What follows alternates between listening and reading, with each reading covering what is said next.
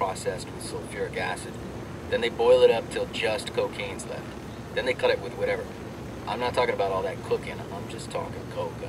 World Health Organization says the coca leaf is healthy for you.